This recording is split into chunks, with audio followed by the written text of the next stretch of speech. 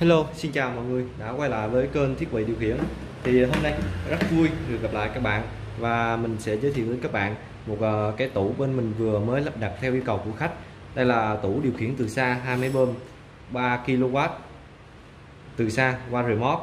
Thì ờ, cái tủ này khách yêu cầu là sử dụng ờ, hai remote hai remote để điều khiển cái tủ này. Nên bên mình đã lắp đặt và sử dụng cái bộ điều khiển từ xa là bộ điều khiển từ xa qua remote hai ngõ ra AF02 thì nó sẽ điều khiển được hai cái cổng ra dùng cho hai cái motor.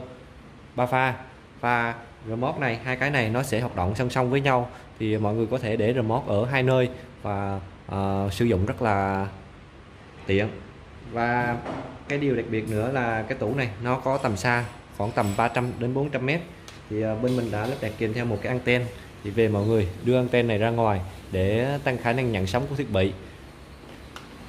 Thêm một cái đặc biệt nữa là cái tủ này nó sẽ có hai chế độ hoạt động.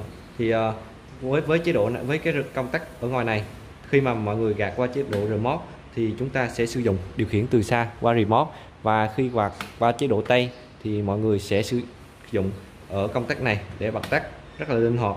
Nếu trường hợp không có remote thì chúng ta có thể bật tay được đó, hai máy bơm đều có hai cái công tắc tay. Ở phía ngoài tủ sẽ có một đèn báo là đèn báo nguồn và hai đèn báo trạng thái motor.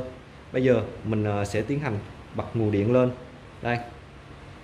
Thì ờ, khi đấu nối thì mọi người chỉ cần đấu nối là dây nguội là N và ba dây lửa vào và ba dây lửa ra, tương ứng với hai máy bơm. Rồi bây giờ mình sẽ bật CP nguồn lên. Rồi, đây là khi mình bật CP nguồn lên thì đèn đỏ nó sẽ sáng khi mình gạt qua chế độ bàn tay thì lập tức bơm một nó sẽ chạy luôn. Đó, bơm hai chạy. Đó, đây là chế độ bàn tay.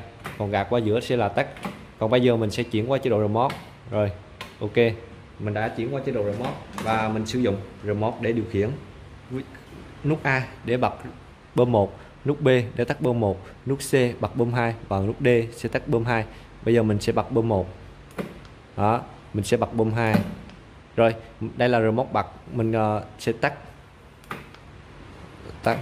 Hoặc mình có thể bật bơm một này và đi tới vị trí khác mình dùng remote thứ hai để mình tắt đi và mình bật bơm hai. Đó hai cái remote nó điều khiển chung một tủ này nên là rất tiện lợi.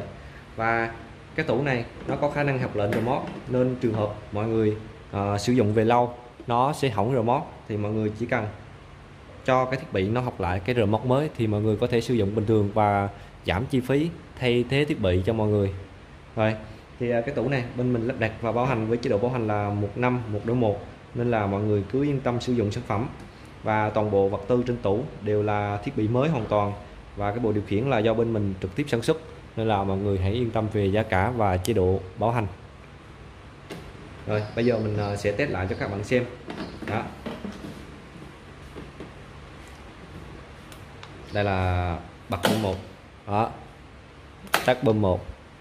Bật bơm hai đang bật chúng ta đang bật bấm nút bật thì nó sẽ là bật và bây giờ chúng ta bấm tắt tương tự với remote thứ hai bật bơm hai bật bơm một. Tắt tắt rồi, rất là tiện lợi. Cảm ơn mọi người đã theo dõi video. Chúc mọi người thành công.